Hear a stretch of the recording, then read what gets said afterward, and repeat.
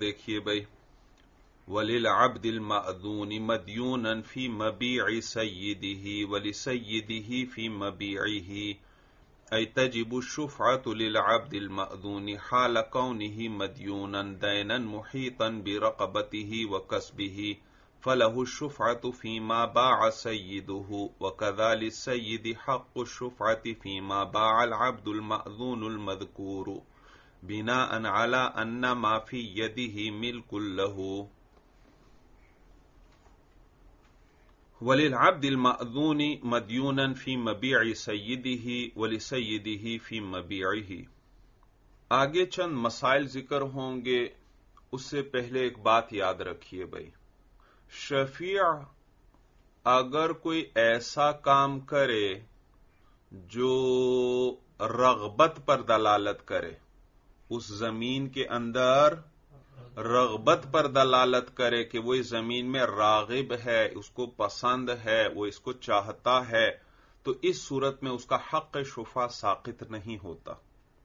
اور اگر وہ کوئی ایسا کام کرتا ہے جو اس بات پر دلالت کرتا ہے کہ وہ زمین سے اعراض کر رہا ہے، منہ موڑ رہا ہے، اس سے جان چھڑانا چاہتا ہے، تو اس صورتوں میں اس کا حق شفا ختم ہو جائے گا۔ شفیع کوئی ایسا کام کرے جو اس جائیداد میں، اس زمین میں رغبت پر دلالت کرتا ہو تو اس کا حق شفا ساقط نہیں ہوگا۔ لیکن اگر وہ کوئی ایسا کام کرے جو اعراض پر دلالت کرے، اعراض یعنی منہ موڑنا، کسی چیز سے رخ پھیرنا۔ اور اگر وہ کوئی ایسا کام کرے جو اس زمین یا جائیداد سے اعراض پر دلالت کرے تو اس کا حق شفا ختم ہو جائے گا۔ مثلا میں نے ایک آدمی سے کہا کہ میری یہ زمین بیچ دو، اس کو میں نے اپنا وکیل بنا دیا۔ اس نے میرے لیے وہ زمین بیچ دی اور بیچتے ہی حق شفا ملتا ہے۔ تو یہ جو بیچنے والا میرا وکیل تھا، یہ خود ہی اس نے شفا کر دیا۔ یہ کیا تھا؟ وکیل تھا، لیکن میرا پڑوسی بھی تھا۔ اس تو اس نے زمین تو اس نے زید کو بیچی، لیکن خود ہی شفا کر دیا۔ اب مجھے بتائیے اسی نے زمین بیچی ہے نا؟ تو کسی چیز کا بیچنا اسی جائیداد کا بیچنا وہ اس جائیداد کو پسند کرنے پر دلالت کرتا ہے یا اس سے اعراض کرنے پر دلالت کرتا ہے؟ اعراض۔ کرنے پر بیچ رہا ہے تو ہاتھ سے تو چیز نکل جائے گی چلی جائے گی۔ تو وہ کسی اور کو بیچ رہا ہے کسی اور کو دے رہا ہے تو اس کا مطلب ہے وہ اعراض کر رہا ہے۔ لہذا اب یہ شفا کرنا چاہتا ہے۔ نہیں بھائی اب اس کو شفے کا حق نہیں ہے۔ کیونکہ اس نے کیسا کام کیا جو کس پر دلالت کر رہا ہے؟ اس آکار سے اعراض پر دلالت کر رہا ہے۔ دوسری صورت، میں نے ایک شخص سے کہا کہ میرے لیے وہ فلاں زمین خرید لو۔ وہ میرا وکیل ہے۔ اس نے میرے لیے وہ زمین خریدی اور ساتھ ہی خود ہی شفا کر دیا کیونکہ وہ زمین کا پڑوسی بھی تھا۔ تو کیا وہ شفا کر سکتا ہے؟ وہ کہا، فرماتے ہیں ہاں وہ شفا کر سکتا ہے۔ کیونکہ اس نے زمین خریدی ہے اور خریدنا کس چیز پر دلالت کرتا ہے؟ رغبت پر اور پسند کرنے پر دلالت کرتا ہے۔ معلوم ہو وہ زمین میں راغب ہے۔ تو ایسا کوئی کام اسے نہیں کیا جو اعراض پر دلالت کرے، لہذا اس کو حق شفا حاصل ہے۔ سورت سمجھ میں آ گئی۔ اب یہ جو اگلا مسئلہ کتاب میں ذکر ہو رہا ہے، اس کو سمجھ لیں۔ وللعبد المأذون مدیون فی مبیع سیدہ ولی سیدہ فی مبیعہ یاد رکھیے، ایک عام غلام ہے، عام غلام پر مختلف قسم کی پابندیاں ہوتی ہیں۔ مثلا، وہ کسی چیز کا مالک نہیں ہو سکتا، اس کو جو چیز بھی کہیں سے بھی ملے، وہ اس کے آقا کی ہوتی ہے، آقا کی مملوک ہو جاتی ہے، اس کی مملوک نہیں ہوتی۔ اسی طرح یہ اپنی مرضی سے شادی کہیں نہیں کر سکتا۔ آقا اجازت دے گا تو شادی کر سکتا ہے، آقا اجازت نہیں دے گا تو شادی بھی نہیں کر سکتا۔ اسی طرح یہ آقا کی اجازت کے بغیر کاروبار اور تجارت بھی نہیں کر سکتا۔ آقا اجازت دے گا تو کاروبار یا تجارت کر سکتا ہے، آقا نے اجازت نہیں دی تو نہیں کر سکتا۔ تو یہ جو عام غلام ہے جس پر مختلف پابندیاں ہوتی ہیں، اس کو عبد محجور کہتے ہیں۔ ہجر پابندی کو کہتے ہیں ہجر ہا جیم را تو عبد محجور، تو یہ جو عام غلام ہوتا ہے، یہ عبد محجور ہوتا ہے۔ اس پہ پابندیاں ہوتی ہیں۔ اور بعض اوقات غلام ذہین ہوتا ہے، تو آقا اس کو تجارت کی اجازت دے دیتا ہے کہ جاؤ، کام کرو، پیسے کماؤ، میرے لیے کما کر لے کر آؤ پیسے۔ تو یہ جو غلام جس کو آقا نے تجارت کی اجازت دے دی، کاروبار کی اجازت دے دی، اس کو کہتے ہیں عبد معزون یعنی جی جس کو آقا نے اجازت دی ہے ازن ازن اجازت کو کہتے ہیں۔ تو یہ کیا ہے؟ عبد معزون تو یہ جو عبد معزون ہے، یہ جا کر تجارت کرے گا، پیسے کمائے گا اور آقا کو لا کر دے گا۔ یہ عبد معزون اس نے تجارت شروع کی، تو تجارت شروع کی۔ جو کچھ اس کے پاس ہے، جو کچھ اس کا مملوک ہوگا، وہ کس کا ہو جائے گا فوراً؟ آقا کا۔ یہ خود کسی چیز کا مالک بن ہی نہیں سکتا۔ بس اس کی ملک میں جو چیز آئی، وہ آقا کی ملک میں چلی گئی فوراً۔ وہ آقا مالک بن گیا اس کا۔ تو اس عبد معذون کو تجارت میں نقصان ہوا اور اتنا نقصان ہوا جس نے اس کی گردن کا بھی احاطہ کر لیا یعنی اس کی جتنی قیمت تھی۔ یہ غلام خود بھی مثلا دس لاکھ کا ہے اور اس کے پاس سامان تجارت بھی مثلا دس لاکھ کا ہے۔ تو اس پر اتنا قرضہ چڑھ گیا کہ جس نے اس کے رقبے کا بھی احاطہ کر لیا، اس کی رقبے سے مراد اس کی ذات ہے۔ اس کی ذات کا بھی احاطہ کر لیا اور اس کے پاس جو سامان تجارت ہے، اس کا بھی احاطہ کر لیا۔ مثلا اس کی قیمت کتنی تھی؟ دس لاکھ۔ سامان تجارت بھی کتنا؟ دس لاکھ۔ اور اس پر قرضہ بیس لاکھ یا بیس لاکھ سے بھی زیادہ ہو گیا۔ تو یاد رکھیے، یہ جو عبد معزون ہے اور اب مدیون ہو چکا ہے۔ کیا ہو چکا؟ مدیون، جس پر دین ہے، قرض ہے۔ ایک ہے مدیون جس پر قرضہ ہو یعنی اس کو کہتے ہیں مقروض مقروض، یہ اس وقت کیا ہے؟ مقروض۔ اور جس کا قرضہ اس نے دینا ہے، جو قرض دینے والا ہے یعنی قرض خواہ قرض خواہ، اس کو دائن کہتے ہیں۔ کیا کہتے ہیں؟ دائن۔ تو قرض خواہ کو کہتے ہیں دائن، اور جس پر قرضہ ہے یعنی مقروض اس کو کہتے ہیں مدیون۔ تو یہ عبد معذون مدیون ہو چکا ہے۔ اور اتنا مدیون ہوا کہ اس نے اس کے کمائی کا بھی اور اس کے رقبے کا بھی احاطہ کر لیا ہے۔ تو یاد رکھیے، اس کے پاس اب جو کچھ ہوگا، جو یہ کمائے گا، اب اس کا مالک اس کا آقا نہیں ہے۔ بلکہ اس کا مالک یہ خود بنے گا۔ یہ خود بنے گا کیونکہ اس کے رقبے کے ساتھ وہ دائن کا قرضہ متعلق ہو گیا ہے۔ یہ اب پیسے کمائے گا اور اس قرضے کو ادا کرے گا۔ کیا کرے گا؟ اس قرضے کو ادا کرے گا۔ تو اس کے ساتھ اب دائن کا قرضہ متعلق ہے۔ اب یہ جو کمائے گا اس کا مالک یہ خود ہی ہے آقا کا نہیں ہے۔ کیونکہ اس نے کیا کرنا ہے؟ اپنے آپ کو اس قرضے سے چھڑانا۔ تو یہ چیزوں کا مالک ہوتا جائے گا اور یہ ان کو ادا کر کے اپنی گردن کو اس سے چھڑوائے گا۔ ہاں ایک صورت ہے کہ اس کا سارا قرضہ آقا اس کا مالک ادا کر دیتا ہے۔ تو اس صورت میں پھر یہ اسی عام غلام کی طرح بن جائے گا۔ یعنی اس کے پاس جو چیزیں ہوں گی وہ ساری اسی طرح آقا کی مملوک ہو جائیں گی۔ بات سمجھ میں آ رہی؟ لیکن جس وقت یہ مدیون ہو گیا اتنا زیادہ اب اس کے پاس جو کچھ ہے وہ آقا کے نہیں ہے۔ آقا کا نہیں۔ یہ اس سے اپنے آپ کو چھڑوائے گا قرضہ ادا کرے گا۔ اس عبد معزون نے کوئی گھر بیچا۔ کیا کیا؟ کوئی گھر بیچا۔ تو اس کا اپنا ہی آقا اس پر شفا کرنا چاہتا ہے۔ کہتے ہیں شفا کر سکتا ہے۔ کیا کر سکتا ہے؟ شفا کر سکتا ہے۔ اور اس کا آقا کوئی گھر بیچتا ہے۔ تو یہ غلام جو ہے، جو مدیون ہے، یہ اس آقا کے گھر پر شفا کر سکتا ہے۔ اس کا گھر اس کے ساتھ تھا، اس نے خریدا ہے، کاروبار کر رہا ہے، اس کے زمین بیچ رہا ہے، خرید رہا ہے۔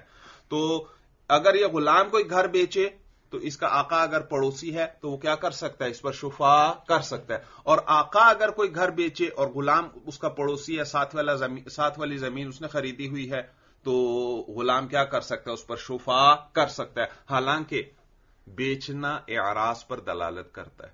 کس پر؟ ایک آدمی ایک چیز سے کیا کر رہا ہے؟ منہ موڑ رہا ہے۔ اور میرا ہی غلام ایک چیز کو بیچ رہا ہے تو اس کو میں نے اجازت دی ہے، تو میرا تو اس کا بیچنا اسی طرح ہے، جیسے میرا بیچنا۔ سورج سمجھ میں آ رہی ہے، غلام کا بیچنا اسی طرح ہے جیسے کس کا بیچنا؟ آقا کا بیچنا، کیونکہ آقا نے اجازت دی ہے۔ اور بیچنے کی صورت میں تو شفے کا حق نہیں ہوتا، کیونکہ بیچنا تو اعراض پہ دلالت کرتا ہے۔ لیکن یہاں پر آقا وہ شفا کر سکتا ہے غلام کے بیچے ہوئے گھر پر، کیونکہ اب وہ چیز اس کی ملکیت آقا کی ملکیت نہیں ہے بلکہ کس کی ملکیت ہے؟ غلام کی ملکیت. سورج سمجھ میں آ رہی ہے؟ اسی طرح آقا کوئی چیز بیچے تو وہ کس کی طرح ہے؟ غلام کے بیچنے کی طرح ہی ہے کیونکہ غلام اسی کا ہے. تو آقا بیچے تو غلام کیا کر سکتا ہے اس پر؟ شفا کر سکتا ہے، حالانکہ بیچنا تو کس پر دلالت کرتا ہے؟ اعراض پر۔ لیکن یہاں پر غلام چونکہ ان چیزوں کا مالک ہو رہا ہے، لہذا اب ان کو الگ الگ شمار کیا جائے گا۔ آقا کا فیل اپنا شمار ہوگا، غلام کے لیے اس کا اعتبار نہیں ہوگا، اور غلام کا فیل اپنے لیے معتبر ہوگا، آقا کے لیے اس کا اعتبار نہیں ہوگا۔ یعنی آقا کا بیچنا وہ شمار نہیں ہوگا، تو دونوں ایک دوسرے کی بیچی ہوئی جائیداد پر شفا کر سکتے ہیں۔ سورج سمجھ میں آ گئی۔ اب دیکھیے کتاب پر۔ ولیل عبد المعزونی اور وہ غلام جو کہ معزون ہو جس کو اجازت دی گئی ہو مدیون اس حال میں کہ وہ مدیون ہے، مقروض ہے۔ یعنی اس کے لیے حق شفا ثابت ہے، فی مبیع سیدی ہی سید کہتے ہیں آقا کو، مالک کو۔ فی مبیع سیدی ہی مبیع، با یبیع کا کیا معنی؟ بیچنا۔ اور مبیع، جس چیز کو بیچا گیا۔ تو وہ جو اس غلابد معذون جو مدیون ہے اس کو حق ہے شوفے کا، فی مبیع سیدی ہی اپنے آقا کے مبیع میں یعنی اس کی بیچی ہوئی جائیداد میں۔ ولی سیدی ہی فی مبیع ہی اور اس آقا کو حق شفا ہے، فی مبیع ہی اے فی مبیع العبد المعزونی اس عبد معزون کی بیچی ہوئی جائیداد میں، اس کو شفے کا حق ہے۔ دیکھیے خود بتلا رہے ہیں اے الشفعت للعبد المعزونی کہ شفا ثابت ہوگا، اس عبد کے لیے جو معزون ہے، حال کونه مدیونا، اس حال میں کہ وہ غلام جو ہے مقروض ہے، دین محیطا برقبته وکسبه ایسا دین محیطا محیطا، جس نے احاطہ کیا ہوا ہے، گھیرا ہوا ہے بھی رقبتی ہی، اس کے رقبے کو یعنی اس کی ذات کو بھی وہ کس بھی اور اس کی کمائی کو بھی۔ فلاح شفا تفی ما با سید تو اس غلام کو شفے کا حق ہے اس آکار میں۔ ماں سے مراد کیا ہے؟ آکار اس آکار میں با سید جس کو اس کا آقا بیچ دے۔ وہ کدا سید حق و شفاتی اور اسی طرح آقا کو شفے کا حق ہے فی ما اس آکار میں اس جائیداد میں۔ با الحبد المعزون المذکور جس کو وہ عبد معزون جس کو ذکر کیا گیا وہ بیچے۔ وہ عبد معزون جس کو ذکر کیا گیا۔ کیا معنی ذکر کیا گیا؟ یعنی وہ مدیون ہے بھائی، اور ایسا دین ہے جس نے اس کی ذات اور اس کی کمائی کا احاطہ کیا ہوا ہے۔ تو وہ اس آقا اس کے اس زمین پر شفا کر سکتا ہے۔ بنا ان اعلی ان نما فی ہی بنا بر اس کے کہ وہ جو اس غلام کے ہاتھ میں ہے، اس کے قبضے میں ہے مل کن لہو، وہ اس غلام ہی کی ملکیت ہے۔ آقا کی ملکیت نہیں ہے۔ ولیمن شرا اوشتر لہو لالمن با او بی لہو او زمین لدرک ولیمن شرا اور اسی طرح شفا ثابت ہے لیمن اس شخص کے لیے شارا جس نے خریدا۔ جس نے کسی جائیداد کو خریدا، اس کو شفے کا حق ہے اس جائیداد میں۔ کیونکہ خریدنا وہ اعراض پہ دلالت کرتا ہے یا اس جائیداد میں رغبت پہ دلالت کرتا ہے۔ اس جائیداد میں رغبت پہ دلالت کرتا ہے، اس جائیداد سے اعراض پر دلالت نہیں کرتا۔ تو جب رغبت پر دلالت کر رہا ہے، تو یہ جو خریدار ہے، اس کو شفے کا حق ہے۔ اس کو شفے کا یہ مانا ہے۔ وہ لیمن شارا اور شفا ثابت ہے لیمن اس شخص کے لیے شارا جو خریدے۔ اور خریدنے کی دو صورتیں ہیں۔ کوئی یا تو اپنے لیے خریدے گا، یا کسی دوسرے کے لیے خریدے گا۔ دوسرے کے لیے خرید رہا ہے۔ اس کا مطلب ہے اس نے اس کو وکیل بنایا تھا کہ یہ میرے لیے زمین خرید لو۔ تو خریدنا دو طرح سے ہو سکتا ہے۔ کوئی یا تو بطور اصیل کے خرید رہا ہے یعنی خود اپنے لیے خرید رہا ہے۔ تو اس کو کیا کہیں گے؟ اصیل۔ اور اگر دوسرے کے لیے خرید رہا ہے، اس نے اس کو کہا تھا خریدنے کا، تو یہ خریدنا ہے بطور وکیل کے۔ بطور وکیل کے۔ تو خریدنے والا وہ چاہے اصیل ہو، چاہے وکیل ہو، وہ اس زمین پہ شفا کر سکتا ہے۔ مثلا، میں نے ایک آدمی کو وکیل بنایا کہ فلاں زمین میرے لیے خریدو یا کوئی بھی زمین میرے لیے خریدو اور اس نے زمین خریدی اور اس زمین کے ساتھ ہی اس وکیل کی اپنی بھی زمین تھی اور خریدنے کے بعد اس نے اس پر شفا کر دیا۔ تو یہ اس نے خریدا ہے اسالتن یا وکالتن وکالتن وکیل ہو کر خریدا ہے۔ تو آپ کہیں گے وکیل ہو کر خریدے اور پھر شفا کر لے یہ تو ہمیں سمجھ میں آتا ہے۔ کوئی اصیل ہو کر شفا کیسے کرے گا؟ اپنے لیے خریدے اور پھر اس پر کیا کر دے؟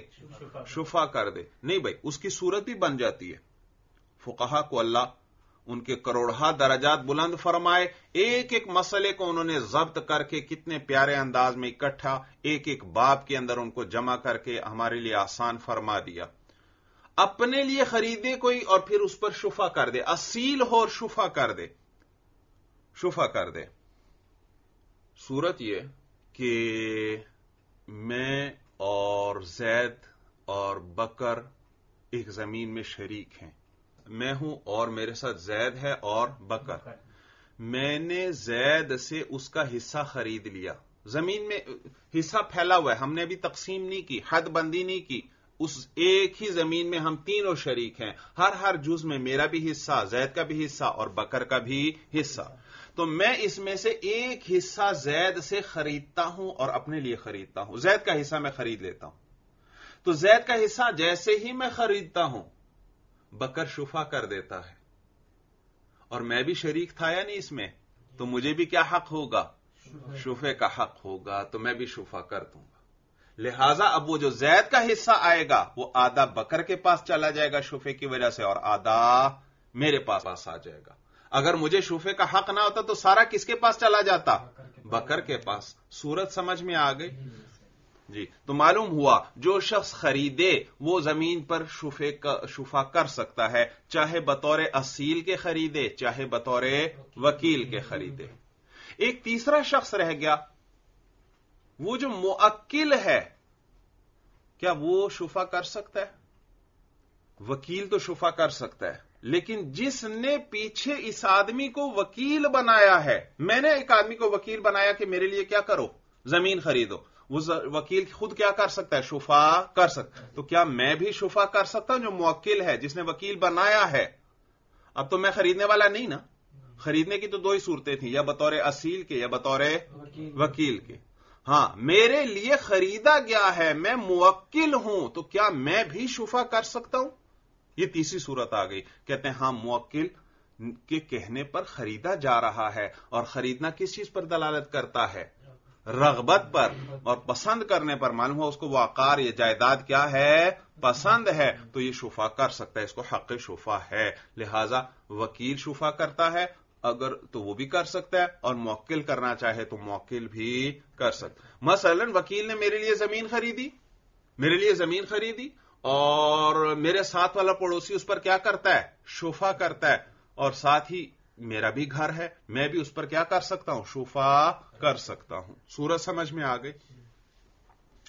تو دیکھیے، کتاب پر ولیمن شرا اور شفا ثابت ہے اس شخص کے لیے شرا جس نے خریدا۔ اس میں کتنی صورتیں آ گئیں؟ دو۔ چاہے بطور وکیل کے خریدے، چاہے بطور اصیل کے۔ اور اسی طرح شفا ثابت ہے اس شخص کے لیے اشتوریا لہو اوشتوریا لہو یا اس کے لیے خریدا گیا، اس سے کون داخل ہو گیا؟ موکل داخل ہو گیا۔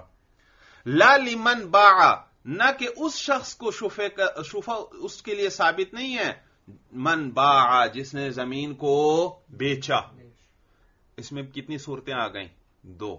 بیچنے والا یا تو اپنے لیے بیچ رہا ہے یعنی اسالتن بیچ رہا ہے، یا بطور وکالت کے بیچ رہا ہے یعنی اصیل ہے یا وکیل۔ کوئی اپنی زمین بیچے اور اس کے ساتھ ہی اس کی اور بھی زمین ہے اور اس کے ساتھ ایک اور شخص بھی ہے اس کی بھی زمین ہے۔ تو وہ ساتھ والا شفا کرتا ہے بھائی اس کی بیچنے والے کی اپنی اور بھی تو ساتھ زمین ہے تو کیا یہ خود شفا کر سکتا ہے؟ کہتے ہیں نہیں یہ خود شفا نہیں کر سکتا کیونکہ بیچنا کس پر دلالت کرتا ہے؟ اعراض۔ پر معلوم ہو یہ زمین اس کو ناپسند ہے اسے جان چھڑانا چاہتا ہے۔ اور شفا تو کس پہ دلالت کرتا ہے؟ رغبت پر کہ وہ راغب ہے۔ تو لہذا اب یہ شفا کا حق اس کو نہیں ہوگا بھائی۔ یا میں نے ایک آدمی سے کہا کہ میرے لیے یہ زمین بیچ دو وہ وکیل بن گیا۔ اس نے میرے لیے وہ زمین بیچی اور اس زمین کے ساتھ ہی وکیل کا اپنا گھر تھا۔ اب وہ شفا کرنا چاہتا ہے۔ کہتے ہیں نہیں بھائی شفا نہیں کر سکتا کیونکہ اسی نے تو بیچی ہے۔ وکیل ہے نا؟ اور بیچنا کس پر دلالت کرتا ہے؟ اعراض پر۔ تیسری صورت، موکل بھائی۔ میں نے زید سے کہا کہ میری یہ زمین بیچ دو۔ اب اس نے زمین بیچی اور ساتھ والا آدمی شفا کرنا چاہتا ہے اور یہ موکل کا بھی ساتھ، اس کی زمین ہے یا مکان ہے، تو وہ بھی شفا کرنا چاہتا ہے۔ تو کیا موکل شفا کر سکتا ہے؟ کہتے ہیں نہیں، وہ بھی شفا نہیں کر سکتا۔ بات سمجھ میں آ گئی؟ تو کہتے ہیں لا لمن با او بی لہو اور شفے کا حق نہیں ہوگا اس شخص کے لیے جس نے بیچا چاہے اصیل کے طور پر بیچا ہو چاہے وکیل کے طور پر. او بی لہو یا وہ شخص جس کے لیے زمین کو بیچا گیا یعنی چاہے وہ موکل ہو اس کو شفے کا حق نہیں ہے. او زمین علی در کی یا وہ درک کا ضامین ہوا تو اس کو بھی شفے کا حق نہیں. درک کہتے ہیں تاوان اور نقصان کو۔ تاوان اور نقصان۔ بھائی ایک آدمی ایک زمین خریدنا چاہتا ہے، لیکن اس کو خوف ہے کہ پتہ نہیں یہ زمین کسی اور کی نہ نکل آئے، میرے پیسے نہ ڈوب جائیں۔ تو میں اس کو ضمانت دیتا ہوں کہ بھائی آپ بے فکر ہو کر زمین خریدیں۔ اگر اس میں کوئی نقصان ہوا تو زمین چھڑا کر دینا میرا کام ہے۔ یا پیسے دینا میرا کام ہے۔ تو میں نے اس سے کہا کہ میں زمین چھڑا کر دینا میرا کام ہے۔ تو دیکھو میں نے اس کو درک کی ضمانت دے دی۔ نقصان کی ضمانت دے دی۔ اب اس نے زمین خرید لی۔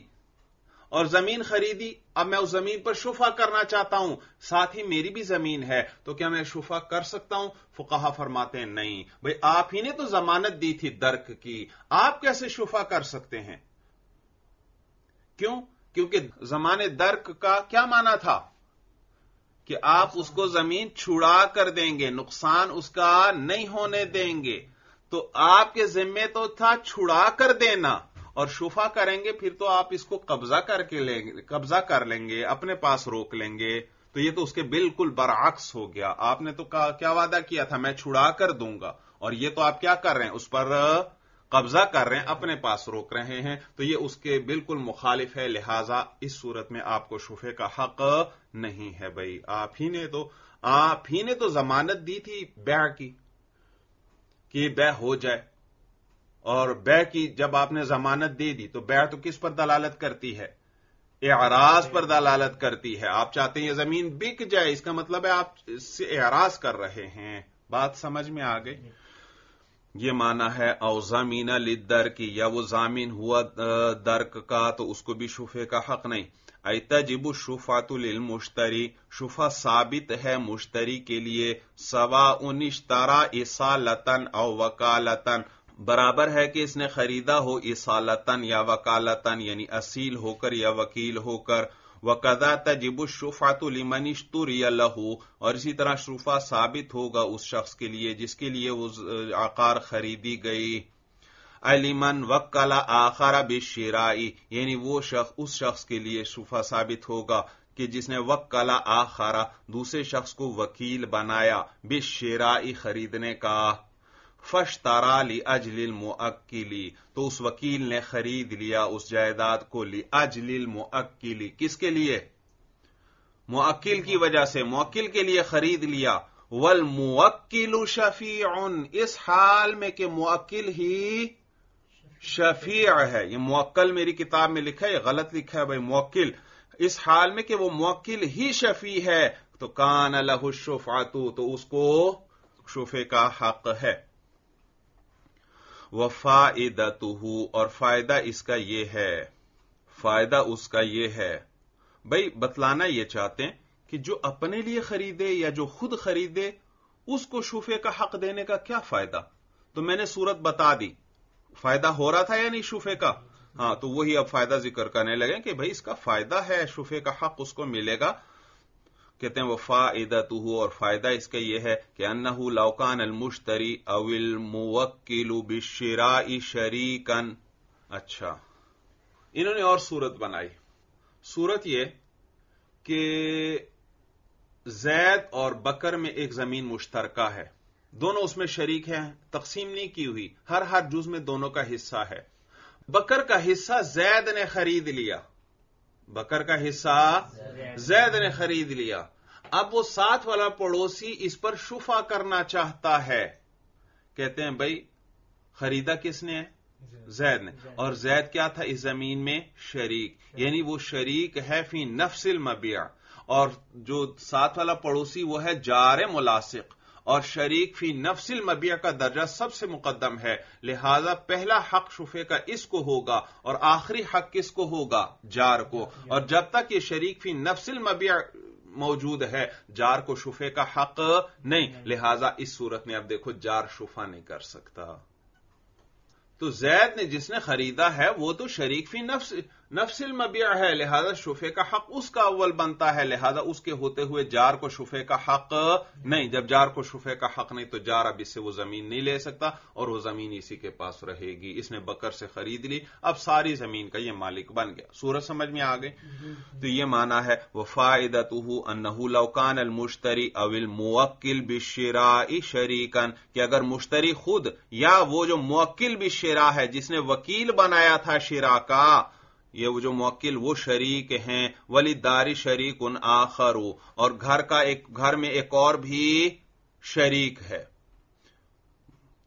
گھر میں ایک اور بھی انہوں نے تین شریکوں والی صورت بنا لی زید عامر بکر یہ تینوں کیا ہیں؟ شریک ہیں۔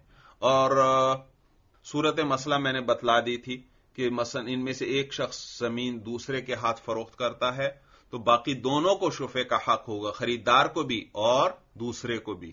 تو وہ زمین آپس میں آدھی آدھی تقسیم کر لیں گے۔ سورج سمجھ میں آ گئی تو کہتے ہیں اللہ المشتری اول موکل بشیرا شریکن اگر مشتری یا موکل بشیرا جو ہیں وہ شریک ہیں ولیداری شریک ان آخر اور اس گھر کا ایک اور شریک بھی ہے۔ فلحما شفاتو تو دونوں کو شفے کا حق ہوگا۔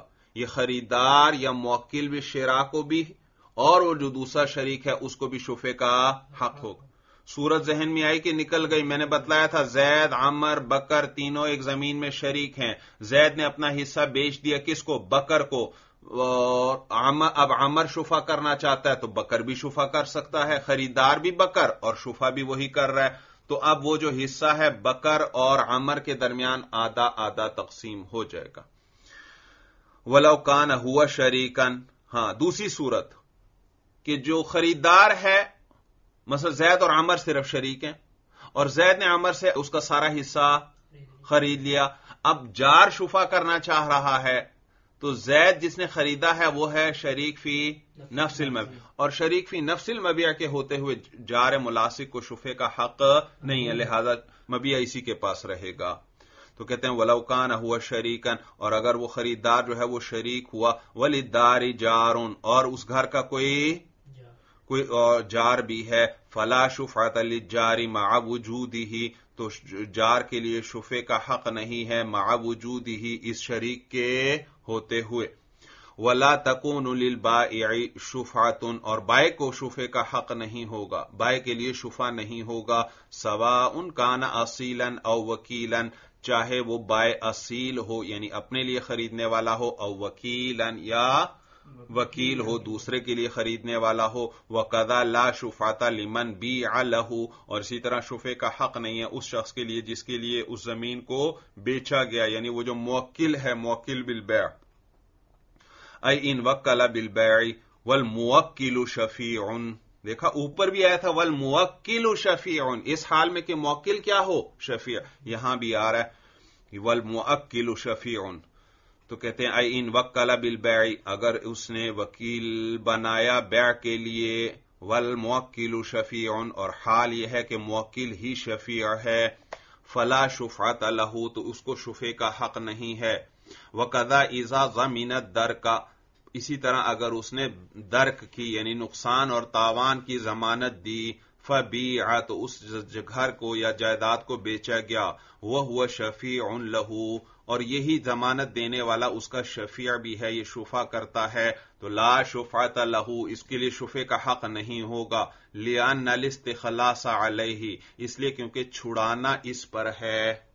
اس کے ذمے تو چھڑانا ہے، اس نے تو ضمانت دی ہے۔ اور شفا کر کے تو یہ اس پر قبضہ کر رہا ہے، اپنے پاس روک رہا ہے۔ تو یہ تو اس کے بالکل برعکس ہو گیا۔ لہذا اس کو شفے کا حق نہیں ہوگا۔ چلیے بس هذا هو المرام والله أعلم بحقيقة الكلام.